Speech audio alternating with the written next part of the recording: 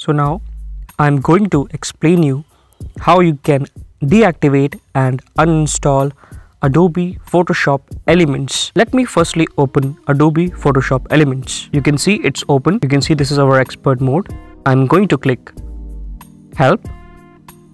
Under Help, I will see there should be a button of sign out. It will show my Adobe email address. You have to click it. A pop-up will appear. You have to read the pop-up message and at the bottom right hand side there should be a sign out button. Please click on it. Once you click on it, it will sign out your complete software and it will consider it as a deactivation. You can then close the software. After closing the software, you have to click the start button. There you have to open control panel. Under control panel, you will see there should be an option of program when you click on it, you will see a list of all the softwares and programs installed in your machine.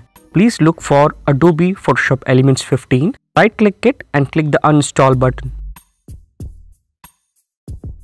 You have to click the remove preferences checkbox. Please click the uninstall button and within few seconds or minutes, your software will be uninstalled completely.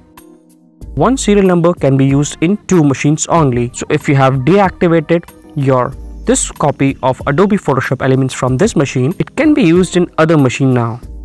This technique of deactivation and uninstallation can be used for different Adobe softwares, both perpetual and subscription. The process is similar. So you can take a reference of this video and try it in other softwares if you have it in your Adobe Creative Cloud or you have a perpetual license. Thanks for watching and have a great day.